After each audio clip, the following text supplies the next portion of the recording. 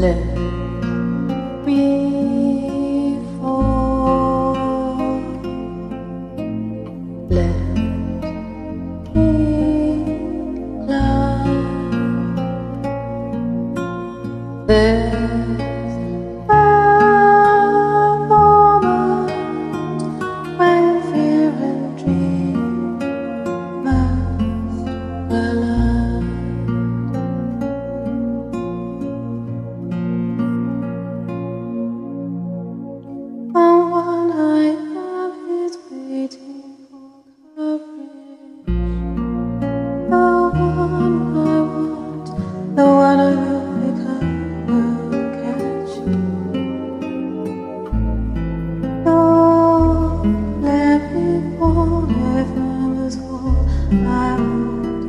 Each morning I will hear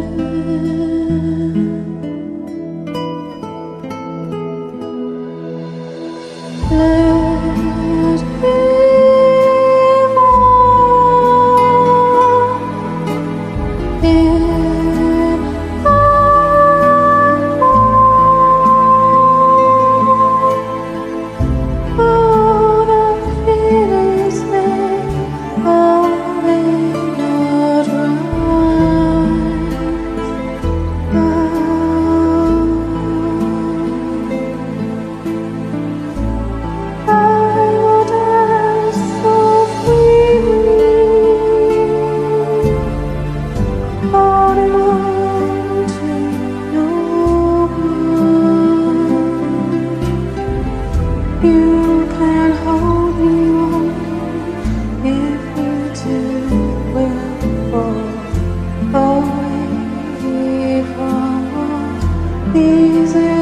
you.